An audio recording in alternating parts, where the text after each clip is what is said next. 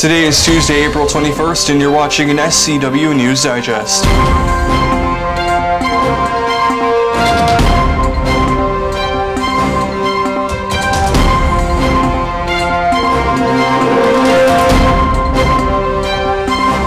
Controversy on the Stockton Unified Board of Trustees today as multiple sources tell us CW News that trustees will vote on firing their superintendents. The board has a special teleconference meeting scheduled for 5 p.m. this evening.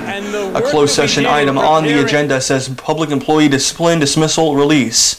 While the district cannot confirm whether or not that is in fact Dr. John Deasy's future that will be decided, multiple people now tell us that that will be happening tonight. Dr. John Deasy was hired by Stockton Unified in 2018. His contract has not yet expired with the district. A petition online to keep Dr. Deasy in the district has, has already gathered more than 1,100 signatures. Some have even called for the resignation or recall of some school board members. We have filed a Public Records Act request to obtain a copy of Dr. Deasy's official employment contract with the district, which could hold more information, including costs associated with dissolving the contract early, but we're still awaiting a response on that. As soon as we get additional updates, we will pass those along to you here and across our social media platforms. New numbers today from the San Joaquin County Department of Public Health. According to the department, 449 cases of the novel coronavirus have been confirmed in this county.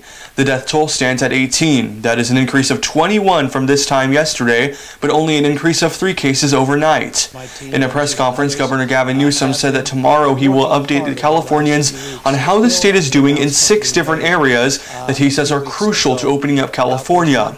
That promise was made right as hundreds of protesters gathered at the state capitol in Sacramento demanding that California be opened back up. Newsom also did speak about letting some counties ease their restrictions, for example, letting Ventura County in Southern California open up golf courses and parks. Coming up after the break, new incentives for hospital staff during this busy time. How St. Joseph's in Stockton is giving their employees more rewards for working.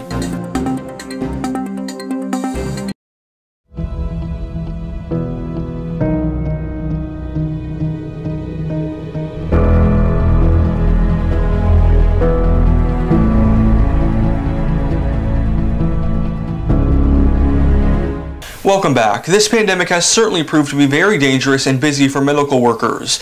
Many of them have had to work extra hours to keep up with hospital demand, which means less time to do other things such as shop for essential products. Well, St. Joseph's Medical Center in Stockton is hoping to change that. The hospital opened up a mini grocery store just for their employees. The store is fully stocked with hard to find items, which include toilet paper and certain food items. The shopping process is quick as well with only a few shelves of supplies and a fridge. Nice to see that those workers are getting what they need. Thank you for watching this SCW News Digest. I'll see you back here tomorrow with more news from Stockton.